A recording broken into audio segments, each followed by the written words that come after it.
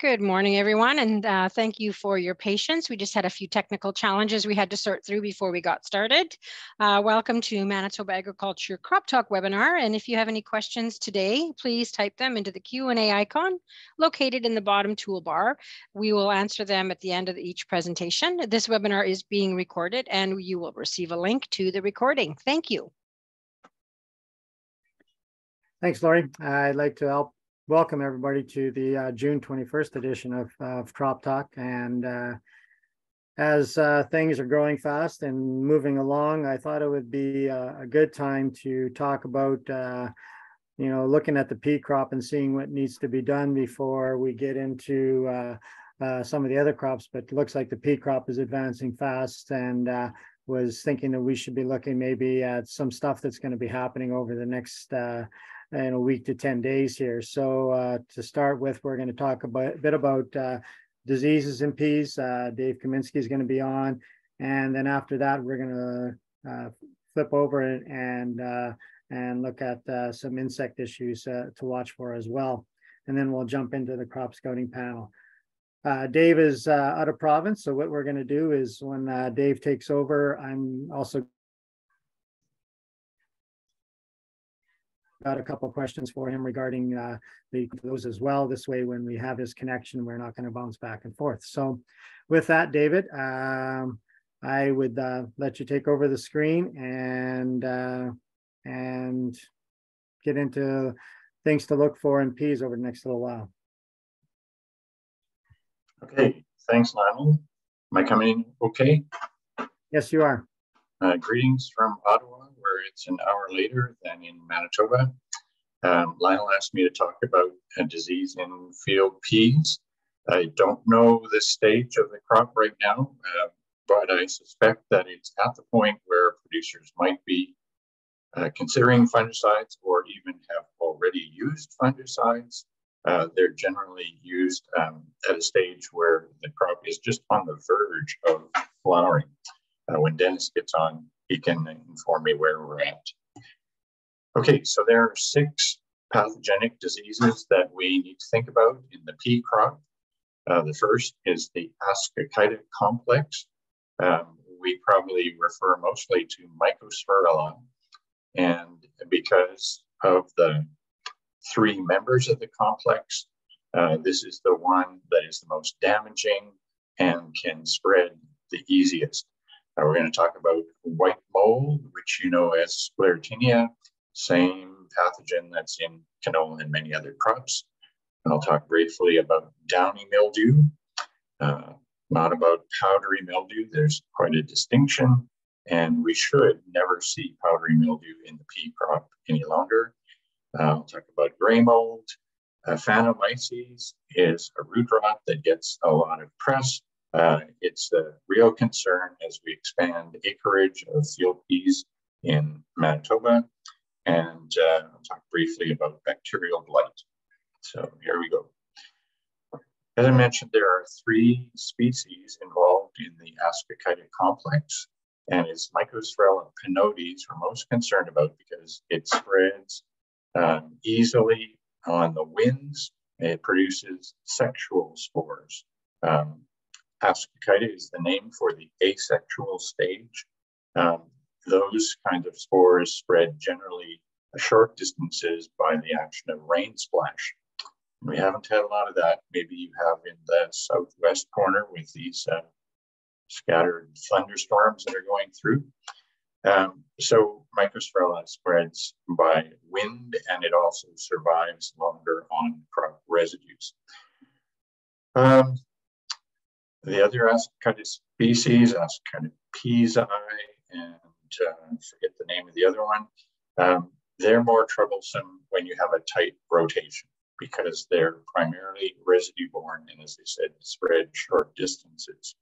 Uh, one of them that causes Ascochyta foot rot can be a problem because it takes out entire plants by choking them off uh, right at the soil surface in your face. Fungicides can be applied after you're seeing symptoms, uh, so you can follow them from the bottom up. And uh, that's why crop scouting is important prior to the application of fungicides, unless you're using uh, prophylax prophylaxis or an insurance uh, philosophy on this disease. Um, this is what Mycosphaerella looks like on the pea crop. Uh, you can see a pod on the picture on the right. So um, that's a more advanced stage of uh, plant development. But if you see symptoms like that on the lower leaves now, um, you'd better get ready for a fungicide application if you haven't already. Of course, the disease can get onto the pods and cause both loss of seed within, and if not that, then some staining on the peas. Um, that might be a concern for peas that are used in the edible market, not processed. These two images come from the uh, aging book, Diseases of Field Crops in Canada. It's still the Bible. It was uh, last uh, modified or changed in 2003, but it's currently in the works to update that. But the information about Mycosphaerella ascochyta, it's all relevant today. Sclerotinia sclerotiorum uh, causes white mold in uh, beans, uh, soybeans, essentially all of the leguminous crops. Uh, we call it stem rot in canola. It's usually head rot or stalk rot in sunflowers. This is all the same uh, pathogen, the same species. And that's why rotation is not a strategy for controlling sclerotinia. It's also a primitive pathogen. It's highly destructive, especially with pea crop, which is uh, succulent, high in moisture content, and it can uh, spread by plant to plant contact. Maybe that happens less now with uh, semi-leafless varieties that have uh, more of the, what do you call them, stipules that join the plants together and hold them up. You might not get the same kind of uh, movement from plant to plant in that situation. Mentioned that fungicides uh, have to be applied really. Um, no, sorry, I talked about prophylaxis. That's applying before you really see symptoms, and that is appropriate in this case uh, because by the time you see symptoms of sclerotinia, it's too late. Um, you should check the guide to field crop protection for the products that are effective against sclerotinia because um, there is quite a long list that works against the ascochyta complex, but a subset of those are also used and effective and registered uh, against sclerotinia. I had to borrow this uh, picture from a company site in Europe. And again, this maybe looks like, unlike peas that we grow here now, in a lodge situation, however, um, you can get this uh, spread through plant to plant contact. You don't need spores for that to happen. Some miscellaneous fungal diseases, uh, gray mold is Botrytis cinerea, and like sclerotinia, has a very wide host range. Um, it's also an opportunistic saprophyte or necrotroph. So it's there on dead plant disease tissue, uh, just a pea crop. I guess the important thing with field peas is that it can cause blossom blight. so the potential for yield loss before you're even setting pods. Downy mildew was seen in a number of cases last year. Uh, excuse me. Jennifer McComb Thoreau with um, Pulse Growers. She's now an athlete, but she sent me some very fine pictures last year, and I'll show you those in a moment. Um, it's recognized as a fluffy gray growth, primarily on the undersides of leaves and on new growth. So you might not see it if you're just walking through the crop and not getting down into the canopy. It is systemic in nature, uh, can be seed borne, and can result in stunted plants. So here's what it looks like. at Jennifer's pictures showing you the spore production, sporulation on the underside of leaves and on some of the newer growth. this isn't a disease that is controlled by fungicides in any way. Um, if you have it in the field, uh, you might talk to uh, your seed provider about uh, how that arrived in your crop. Miscellaneous diseases, whenever we talk about peas, we have to talk about Aphanomyces because um, as peas move back into Manitoba, it's uh, probably going to be the most yield limiting of the of the fungal diseases that we deal with. It has uh, very long-lived resting spores, between six and 10 years, depending on the conditions. So once it's established, you would require a very long rotation interval um, if you want to control it that way. Uh, bacterial blight is a disease that might be mistaken for the Ascochyta complex. Uh, I'll show you the symptoms in a moment, and they look very much like those uh, blocky, angular, purplish lesions of uh, blight. But the difference is they have this characteristic symptom that as the lesions begin, they're kind of water soaked. It looks like the plant tissue has been squeezed, as you might do with your finger and thumb but on a much smaller basis. Um, and there's also the reflectance or glint off of the leaf surfaces. If you hold them at a particular angle to the sun, that's because of the bacteria that ooze out of the leaves and dry onto the plant surface. Here are symptoms of bacterial blight.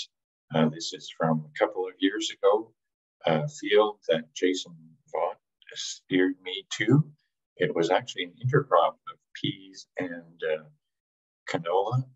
So it had a pretty dense canopy, um, but this is bacterial blight, not mycosphaerella. And because it thrives in a moist condition, it does not generally move up into the canopy as much as mycosphaerella blight would. You often see it being just contained to the, the bottom of the plants. So maybe it's more of a curiosity but definitely it's not something that is controlled by the use of fungicides. Okay, speaking of fungicides, there is a very long list of products that is registered on field peas. I've kind of excerpted this from a table in uh, the Guide to Field Crop Protection. I don't remember the number of the table, it might be number seven, but it's the one that uh, covers the number of the pulse crops. And um, Okay, product names down the side. I've listed some of those, which were the first ones registered. Now there are a number of generic um, alternatives, and that's why in the guide you'll probably find them listed by their active ingredient. We have pages for chlorothalonil, pyraclostrobin, azoxystrobin, and propiconazole, for instance. Um, in the groups, you can see that there are a number of groups. I've highlighted group 11, which is the strobilurins. That's because used alone, they have the highest probability of um, the fungus developing resistance to the fungicide. Uh, they're very target specific. And in uh, Saskatchewan, they've got real issues controlling um, fungal diseases in lentils, which is the big crop for them because they have resistance to group 11 products. So don't be using those alone. You can see that uh, many of the products, the more recently registered ones especially, are a multi-active uh, mix. Um, they have either group 3 with group 11 or group 7 with group 11 um, group threes are the triazoles. Uh, they're generally older products like propiconazole. Um, that's why the name. Uh, group seven, you're probably familiar with, um, oh, what have we got? Lance, which has boscalid. That's one of the actives there. Um, that is a group seven, and you can see that appears in a number of the combinations. And we even have a product like Miravis Neo, uh, which is a three-way mix. And those um, multiple active mixes are uh, resistance mitigation strategy, or they will probably help uh, prolong the development of resistance if it does develop. The two other columns there on the far right are uh, pre-harvest interval, which is pretty important because uh, the peat crop matures quite quickly. And depending on when you've applied your fungicide, you might be crowding those lengthy 30 day pre-harvest intervals of, of some of the products. Maximum number of applications. Uh, copper, you can keep spraying it on until cows come home, but I'm not sure that's effective against anything except perhaps powdery mildew. I mentioned that powdery mildew is not a concern on the pea crop, and that's because every new variety that comes to the market for registration uh, must be resistant to powdery mildew. It's a very simple dominant gene uh, kind of resistance, and it's easy to uh, put into uh, the genome. So um, we just don't see powdery mildew. Um, many of the crops have uh, possibility of using the product twice. And I think that we see that in some pea fields, product being used twice.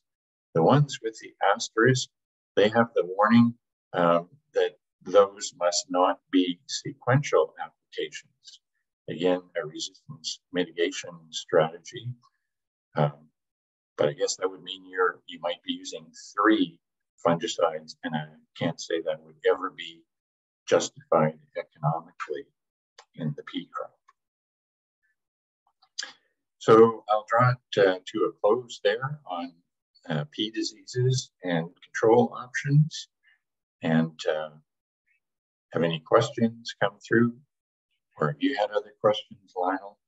Uh, yeah, there's been uh, one question that came through. Um, you mentioned the second application there just when you were finishing off there, and the question was um, after first application, how long should a uh, long time period should be before the second application? Uh, many of the labels will say um, the product should be effective for a 10 to 14 day period.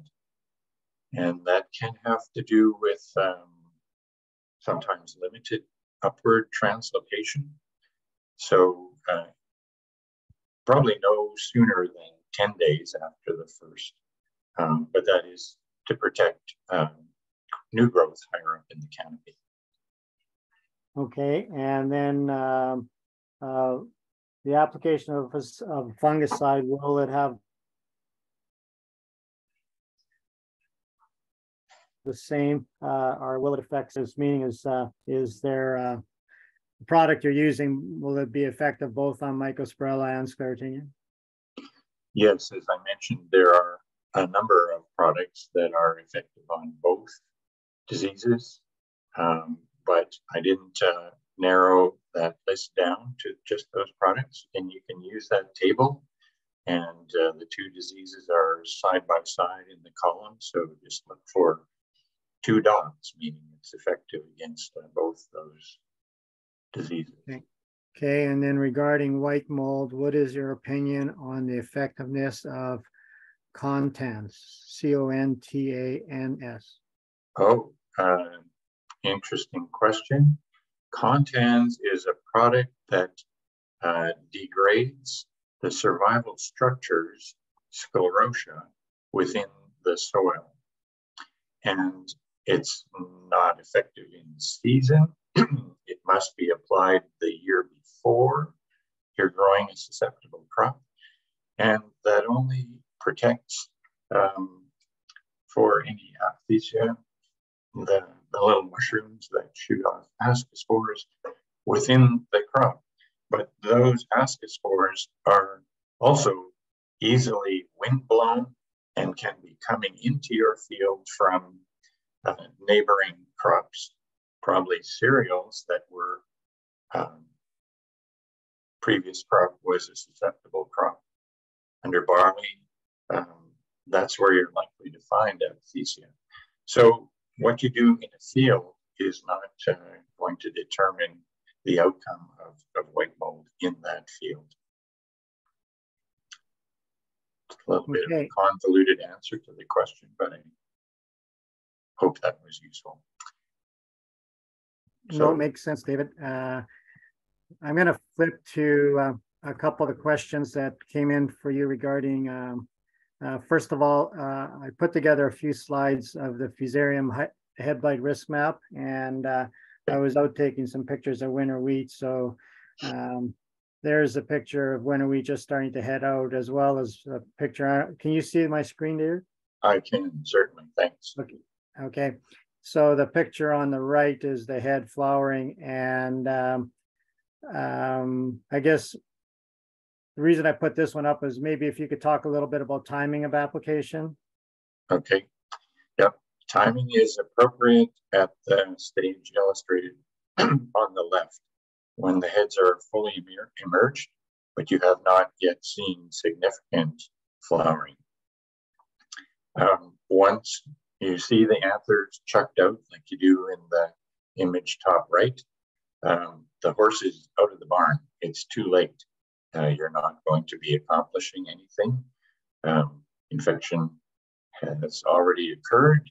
If uh, fusarium spores are around and conditions are favorable, we'll talk about those conditions when you show the map. Um, but fungicides provide no curative um, control. It's, it's a preventative kind of thing. So it must be applied to the heads when they are fully emerged from the boot, uh, but have not yet flowered. And uh, winter wheat, there is not a lot of it around, uh, but I have talked to at least one grower in the South Interlake who was telling me about the development of, of his crop. And it sounded like it is already well on the way to uh, being fully flowered as that illustration on the right. Yeah, and this was a picture in the southwest that was taken. So I think we're getting to that stage now. So it was kind of it's amazing how fast it did flower. Uh, you know, you see yep. heads just poking out, and then all of a sudden you see heads that are completely flowered. So. Mm-hmm.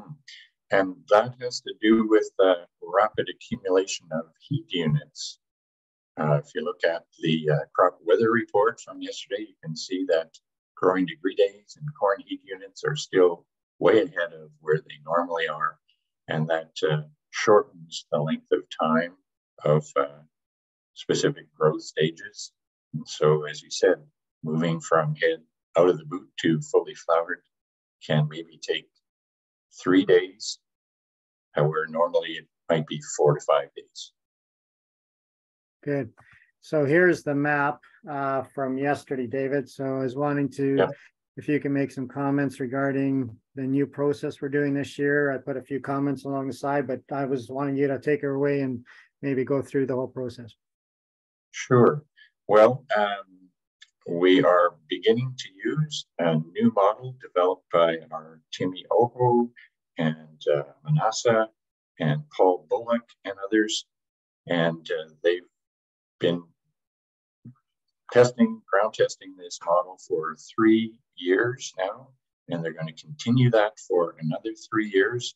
Um, they're quite confident that this model uh, is superior to the one that we've now used for, I want to say, coming on to 20 years.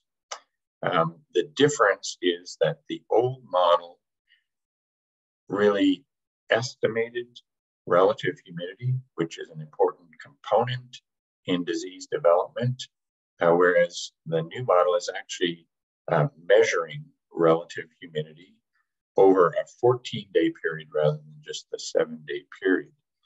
Now, you might think, as I did um, last week, it was a bullseye of red on, on Carman, where I live. And uh, I said, it's dry as a popcorn fart here. I can't imagine that we're having any high relative humidity, um, except maybe for an hour in the nighttime or at dawn when you might get a little bit of dew formation. But I looked together with Timmy at the raw data. And at that time, I saw that um, over that 14 day period, we had had 82 hours out of 336 where the relative humidity was above 80%. And that was also coincidental with uh, warm temperatures that are ideal for infection. So, with those two factors, the model has to say that the risk is high. Now, unless you have had uh, rain showers as the crop approaches um, the vulnerable stage, you probably won't have many of the spores um, getting airborne and onto the heads within your crop. So when the soil surface is dry to the point of cracking, I think your gut feel is right that the risk is actually lower than the model or the map show. Um, it takes interpretation. I've been talking to a grower uh, in the eastern part of the province, uh, in the RM of Alexander, and um, there is exactly the situation I've described that the surface of the soil is dry to the point of cracking. Um, the crop looks like it's holding on, except on the knolls where it's beginning to drop tillers uh, because of lack of moisture. The rest of the crop um, at its stage is now um, got deep roots, which are tapping into deep moisture, and that can help them uh, grow. And uh, so the crop that this farmer described still had a pretty lush canopy. And uh, they were watching the weather because um, there is rain in the forecast now. Um, there were also the possibility of thunder showers. But as you know, um, the kind of rainfall that we've been having are these intense uh, showers, which affect a very small or narrow band of area. You can even in one field have a wet on one side and dry on the other. So it's a weird year, um, but um, I think you can still use this map in combination with your knowledge of, of local conditions. And though I don't have my phone with me here in Ottawa, uh, I'll be back uh, tomorrow. And anyone who has questions about uh, the interpretation, what they're seeing in their area, feel free to uh, call or, or text me and, and, we can have a chat about that. Okay, that's good points, David. And uh, I was actually talking to a producer and your comments you just made regarding using this as a tool. He said that he kind of goes out, does his checking, feels what he wants to feel, uh, see and see in the field. And then what he says is he'll sometimes go to the map and see what it says. And that's kind of his tipping point. It kind of tells him, well, you know, maybe I should or maybe I shouldn't. So uh, I think that's exactly what you're saying. So. Yes. He also asked uh, about uh, being that we can do a modeling for Fusarium, can we do a modeling for Sclerotinia and spraying as canola? Well, it would sure be nice to think that we could. Um, the reason being, as I mentioned, by the time you see symptoms, it's too late. So again, we really have to anticipate the risk for the crop. The unfortunate thing is that it is a field by field situation. And there have been many attempts to come up with a, a predictive model. And so far as I'm aware, uh, none of them have really um, been useful to the point that they are continuing to use them. I would suggest that uh, people who are interested in evaluating risk go to the Canola Council's website where they have a checklist that you can use uh, to tell you the risk in your individual's uh, situation. And it often um, involves uh, not just scouting from the road, but actually walking through your crop at a specific uh, time of day and specific stage um, prior to when you might be spraying a fungicide, which is at the earliest 20% bloom. Okay, good. And uh, oh, and just one more thing. Um, I was out in that winter wheat field and we were noticing some uh, whitish marks on the leaf. I didn't get a chance to send that to you, but I was wondering if you might be able to comment on what you see there. I think I can. Um, that is most likely not pathogenic disease. Um, the most likely candidate is the feeding of an insect, um, which rarely reaches economic levels. Um, it's a, a, plant bug, the green grass plant bug. And uh, the way it feeds is it has sucking mouth parts, um, like aphids, um, but it sucked the juice out of those whitish areas and you have cell collapse. Um, but again, uh, not economic. In the past, in winter wheat, we had a thing called physiological leaf spot, and the symptoms were something like this. Um, it was related to uh, potassium availability and uh, some varietal um, interaction with that. I haven't seen um, physiological leaf spot in a long time. Maybe that's because I'm not walking in a lot of winter wheat fields anymore. But if John Gavloski is in the call and listening now, he can maybe talk a little bit about this. I saw it being uh, quite intense. I have uh, oats, barley, and wheat in my plot area for the diagnostic school. And at the three to four leaf stage, there was a ton of this damage. And you could also, in some places, see the black, uh, I guess it's the feces or excrement of, of the insects uh, near these spots, not, not necessarily within those spots, but somewhere else on the leaf. Okay, well, that's going to flow right into uh, our next part of the presentation. And maybe John, while I'm on this slide, if you maybe want to make a couple comments and then we'll go into some of the uh, things to watch for in peas. Sure. So uh, Dave's covered this quite well, actually. Uh, it's green grass bug. Um, as Dave mentioned, it's a sap feeder. Um, it's, I'll say, maybe somewhat Lygus-like in appearance, but a bit uh, narrower, longer, um, uh, quite green with reddish antenna. Um, and yeah, the, uh, they will uh, make these very localized white spots on the leaf. In almost all cases, the plants are going to outgrow this. It would have to be very intense feeding and uh, combined with drought stress for it to really be an issue. But in most cases, uh, it's a bit of early season feeding and the plant will outgrow this. Okay. And I, and I do have some slides I prepared on the peas end oh, of it. Great. Okay, we, perfect. So yeah. share your screen, John, and take her away. Okay, sure.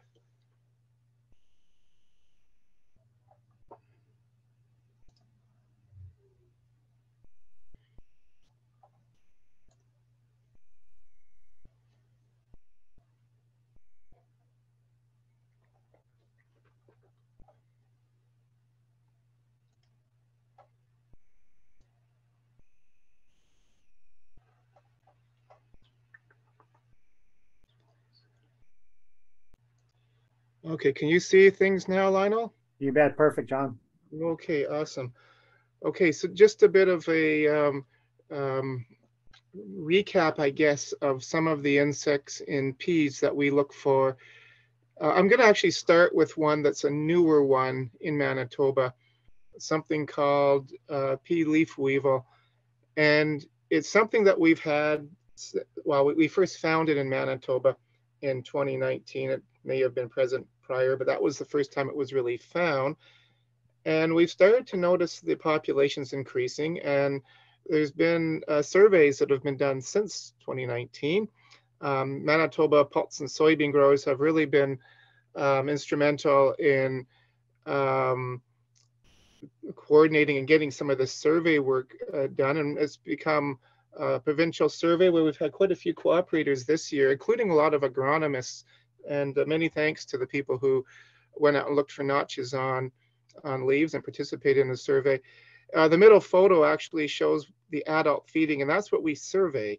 Um, the adult weevil it will make this little almost semicircular notch. It looks like someone took a, a hole punch and just started punching little holes in the edges of the leaves. So that's the, the adult feeding notches. That's what we survey just to get an idea what the populations are like, relatively speaking. It's not really economical, this leaf feeding. Um, some plants will have a lot of it, but it is usually around the edge. What can be economical is actually the larval feeding.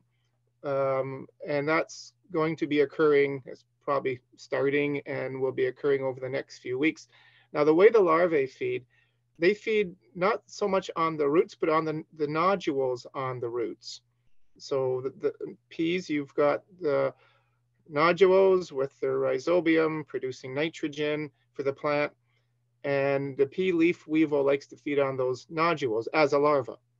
So that really is what is economical about pea leaf weevil. If you have too much of this feeding and you lose too many nodules, then you end up with nitrogen deficient plants. So they're essentially causing a nitrogen deficiency. So that's why the issue.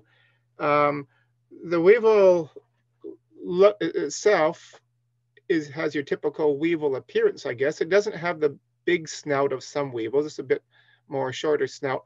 And it does have uh, these three whitish lines that go down the head and the thorax which uh, can be quite distinctive, but it's a small enough insect that you often do need to either look carefully or use a magnifier to see these.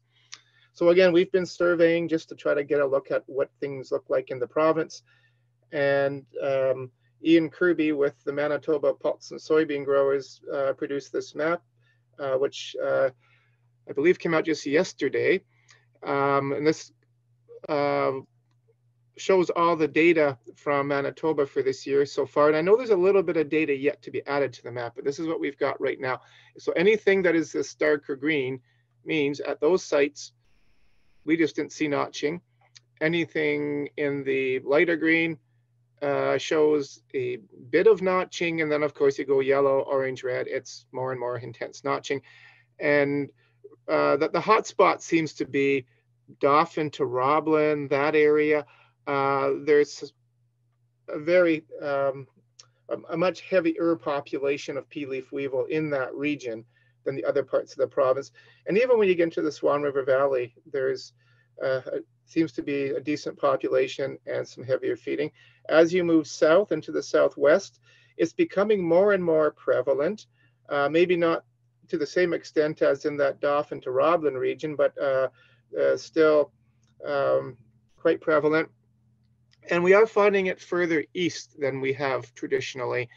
Uh, this year, we did find it in St. Leon. And uh, in a survey that we were doing last week, we found it in the Elm Creek area, not uh, in any big way. You had to look hard to see the notches. There, they were there. Uh, we didn't find any weevils at Elm Creek, but we could see the notching at the St. Leon field, uh, which I think is this one here in the map we um, we actually did find uh, pea leaf weevil. So it has spread a bit further um, east than we currently had known.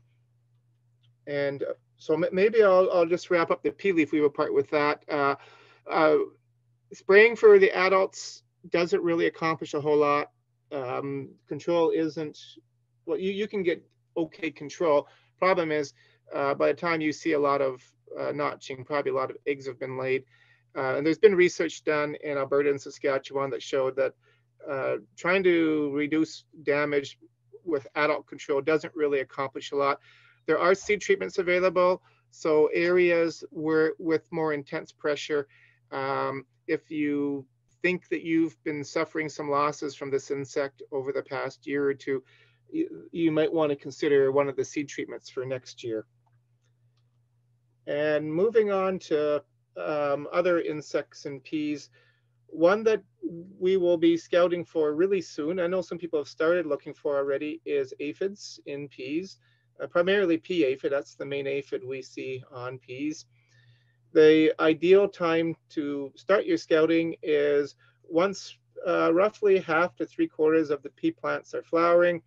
That's a good time to start your looking. No, no harm in looking earlier, but that's the time to do your assessments to make um, management decisions should you need to be doing some sort of control.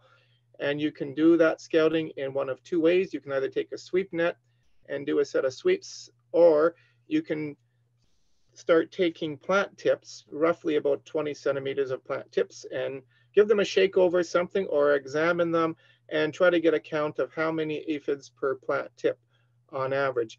Um, with some of our modern pea varieties, they get to be uh, dense and thick enough that sometimes getting a net through um, is a challenge. So if sweeping is becoming very difficult in the field, um, then the plant shaking method might be a better way to go. And thresholds based on those assessments, it's two to three aphids per plant tip on average. So if you're in, if you're grabbing four or five plant tips to give them a shake over something, uh, just do the math. It would be, like I said, two to three per tip. So if you've got five of them, just multiply your count um, to get the proper uh, answer. And for sweep net sampling, it's nine to 12 aphids per sweep. So if you've done um, five sweeps, multiply by five. If you've done 10 sweeps, 90 to 120 aphids would be what you would need to be at threshold. And if you are above economic threshold, the ideal time to apply an insecticide would be when you have about half of the plants producing some young pods. Uh, the, the economic damage that they do is actually um, when the pods are still elongating and the seeds are still forming. Uh, too much aphid feeding competes for the phloem sap and you will get smaller seeds and possibly fewer seeds. There's no quality issues. It's strictly fewer seeds, smaller seeds. So that's the damage that they can cause. And so hence you want to be protecting that very early pod development. Once the pods are fully elongated, you can start to see bumps in them. Um, it's probably too late to be for things to be economical. It's the early pods you need to protect. And just uh, one other insect and grasshopper uh, in peas to keep an eye on.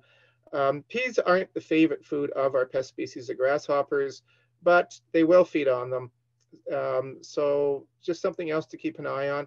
And just a heads up that uh, when we do have warmer than normal springs and early summers, that can lead to a quicker development of a quicker hatch of the eggs and quicker development of the grasshoppers. And we're already starting to see a lot of grasshoppers with wing buds. So the picture on uh, the lower left, you can see buds on the wings of this grasshopper. We call them wing buds, those black things in behind the thorax. Uh, when most of your grasshoppers look like that, probably the hatch is nearly complete and areas with lots of grasshoppers, if you're thinking of managing them, that's an ideal time to be doing it. Um, also, the, the, other effect that a um, hot, dry year can have on uh, grasshopper damage is uh, when we have wetter years, the crops are growing better, but also the natural vegetation around the fields is also growing better. And that usually keeps the grasshoppers in those ditch areas and more naturalized areas longer. When we have uh, regions with drought, um, that can almost force the grasshoppers into the crops a bit earlier because those naturalized areas don't have the same um, quality of vegetation for the grasshoppers. So they will move into the crops a bit earlier. So that's something just to keep an eye on the grasshopper levels. I've had a couple people already this year ask about uh, spraying for the grasshoppers in strips. And um, I know people are doing this anecdotally, saying they're thinking they're getting good results. I've only seen data on this for pastures. That's the only uh, research on this technique. In pastures, it worked great. They were basically treating now. In the pastures, they were using 100 foot um, swaths where they would treat 100 feet, untreat 100, treat, untreat, again, keeping costs down. One th thing you could do is um, for uh, sprayers where you can uh, adjust it so you've got some nozzles on, some off. You could have maybe five or 10 nozzles on, five or 10 off uh, to try to reduce the width of that swath if, if you're targeting juveniles. Um, in the end, it's the same amount of insecticide applied, whether you do a 100 foot or a shorter unsprayed uh, area. Um, but the shorter uh, uh, unsprayed areas means you've got less area for the grasshoppers to have to move to get into the treated areas. So uh, something to consider if you're treating grasshoppers, especially if it's in a crop where you're uh, wanting to keep the costs down a bit. And I always do like to mention when I'm talking about grasshoppers that aside from our four pest species, we do have a lot of other grasshoppers like these katydids on the right, which sometimes can be really numerous, uh, especially in the field edges on some of that more naturalized vegetation.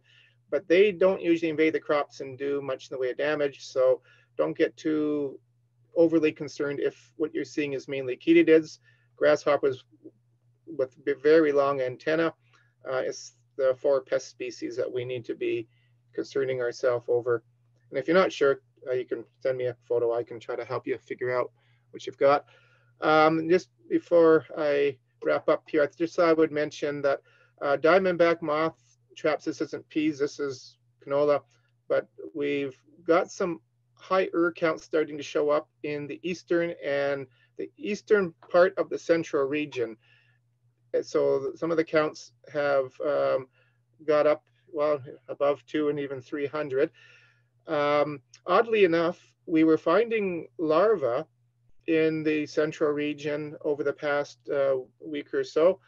Uh, one of the agronomists, uh, not too far from this Altona area, said uh, one of their fields that they were finding a lot of larvae in last week, not economical, but they were quite noticeable, the larvae. This week, they have trouble finding the larvae. And they weren't finding many pupa either, which was really odd. Uh, so I'm not sure what's happening there, if they're, they've completed their first generation, or if some natural enemies have maybe been working on that population. So far, no economic populations of diamondback moth, but just something we're keeping an eye on because of some of these higher counts, but more in the eastern region. And uh, just also one more reminder, um, because I'm getting questions on this. Um, Lambda cyhalothrin, that's your Matador silencer, La Bamba zavata. Um, we, some uses were removed from the label, pastures, sunflowers, some vegetable crops. On crops like canola, flax, cereal crops, um, the, the, the product is still available for use, but just a reminder, and this is important, the crop can't be used as animal feed. So if there's any ambiguity and you're not sure if this crop potentially would be going to the animal feed market, uh, don't use lambda cyhalothrin. You would have to only use this if you're 100% sure that it's just for human food market, but uh, animal feed, um, don't use this product. I know I've been over this before on Crop Talk, but just wanted to reinforce that because again, I get questions on it. So maybe I'll end with that, Lionel, and if there's any uh, further questions, I can take them. Uh, actually, yeah, the one question that came in was, will grasshoppers go through another cycle? Will there be like another laying or? No, is the short answer. Grasshoppers are, are um, pest species and actually most of the other species just have one generation per year. So egg laying all happens uh, later in the summer, August and September.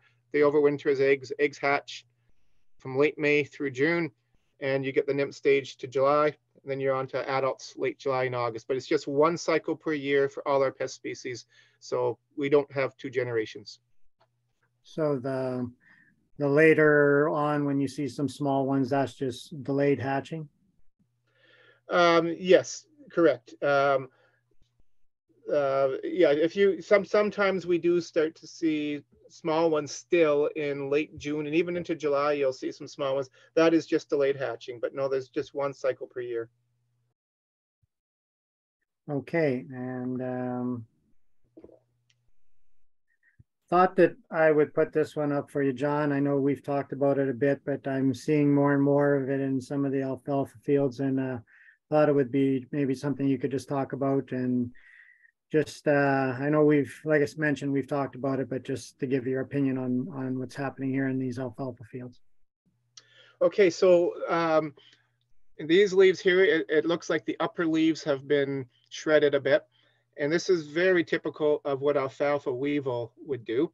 And so alfalfa weevil, I showed you pea leaf weevil um, earlier. Alfalfa weevil is also a weevil, a bit bigger than pea leaf weevil with a big brown stripe down its uh, back uh, and a bigger snout. And it's actually the larvae that, that do this feeding. They've got the larval stage is green with a white stripe down the back and a black head. So maybe somewhat like a small caterpillar, but they don't have the true legs of a caterpillar or prolegs. They're kind of legless. Um, legless green caterpillar-like things, but they are beetle larvae. And they they like to chew on some of the, the newer um, tissue on alfalfa.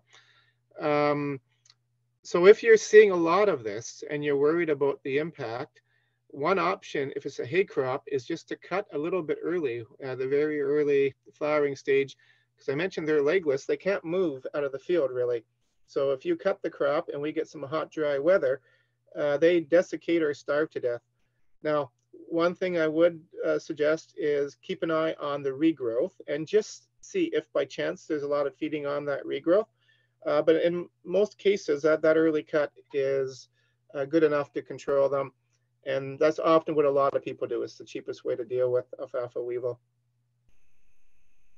Yeah, and uh, I think the, one of the other reasons I put it up is um, a lot of spraying still happening, in crop spraying, and uh, a lot of beef producers are maybe haven't been taking a close look at their hay stands. And so uh, the calls I've been getting are guys driving by fields and noticing a whiter tinge on uh, on their alfalfa crops, and then walking in and seeing this. So just thought yeah. I'd kind of a heads up for some of those guys that maybe not be looking as much as the dairy quality alfalfa, but just for the you know the one cut alfalfa, so they don't leave it too long and good point. Um, scouting is good. Uh, uh, nice to pop into the field occasionally just to have a look because if something like alfalfa weevil is getting out of hand, uh, good to be on, on top of that.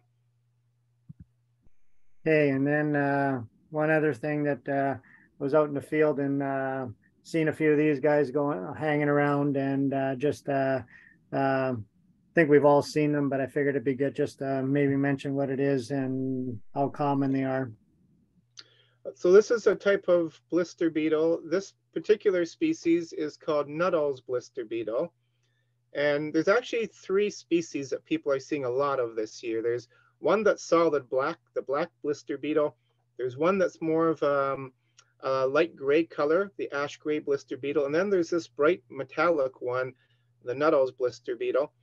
And the first two, the black and the ash gray, we're seeing a lot of those because their larvae are grasshopper egg specialists. That's all they eat is grasshopper eggs. So they're, they've got a good side to them. Um, Nuttall's isn't one of the grasshopper egg specialists um, as larvae. All three species will feed to some degree on many crops. They tend to like things that are flowering. So things like alfalfa, um, canola, um, uh, you will see them in crops like soybeans. This one looks like it's probably in a cereal crop. Uh, we don't see them a lot in there, but uh, they, they can be. They, uh, they've got very broad um, uh, feeding ranges. They normally don't do enough damage that we would call them a significant pest of most of these crops. And the other thing you'll notice, they tend to um, aggregate, where you'll get a big con uh, a big batch of them in an area of a field, then the rest of the field you can barely find them.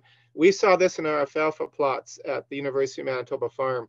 Um, my student and I were doing some sweeping, and my student uh, did her 20 sweeps at one end of the alfalfa, caught uh, several of the, the blister beetles. I swept the other end and um, didn't have any in my sweeps. They, they can be very uh, aggregated. So if you do happen to stumble across a patch of these in say a canola field or a soybean field or something, don't assume the whole field is like that. Um, it, they, they often are very patchy and uh, it looks bad within the patch. You can see the foliation happening, but uh, usually it's something you just need to put the blinders on for. And like I said, the black and the gray ones, they've got the good side to them because uh, they're grasshopper egg specialists. Okay, good. Thanks, John. Uh, okay, just uh, mention a few more things before we're done for today. Uh, the uh, um, field crop production guide is available and uh, we're getting into fungicide spraying season. So I think you need a copy of that just to keep on top of the diseases, the products that are there and, and how to apply them. Uh, Dave made a good comment regarding uh, pre-harvest in intervals. So make sure you check on that with the products you're using as well. Uh, we got some field days that are going to be coming up. Uh, these are our diversifications uh, centers. Uh, they're going to be on the 19th, the 25th, the 2nd of August, and the 9th of August. And um, uh, we actually are going to be having uh, some of the are the um, directors from the uh, the different centers come on on the 5th of July for our crop talk, and they're going to be talking about the different things happening at their centers uh, diagnostic school. Um, I'm not going to read through all this, but uh, Marla, if you're on, if you want to give us an update, I think some of our days are filling up. So if you're on, if you can maybe make a comment. Absolutely. Yeah. So we are full on July 5th. Um, we still have a few spots available on July 6th if anyone's interested, but there's probably about 10 left. Um, and then we still have space uh, the second week. So that would be July 11th to 13th. And how are we doing for the Farmer Day? And Farmer Day registration is coming along nicely too. So again, for any farmers who wish to attend on the 7th, um, the opportunity exists to come for free if you happen to be a member of all three of the commodity associations. So um, the commodity associations are each supporting uh, their member growers by paying $25 towards the registration. So if you are a member of all three, you come for free. If you're a member of two of the three, you pay $25. If you're a member of one of the three, you can come and pay $50. So um, we're happy to have people. And I think we're going to leave registration open for a little bit longer on that one. Um, so again, let us know if you want to come uh, for any of the days, whether you're an agronomist or a farmer, you just send an email to mbcropschool at gmail.com. And from there, you can uh, let us know what day you want to register for. Okay, good. Thanks, Marla. Uh, the contact information for the crop production extension specialists. And uh, there's lots of different things happening out in the field. So if you see something happening and need somebody with a second pair of eyes to come and give you a hand and see what's going on, definitely contact any one of these people.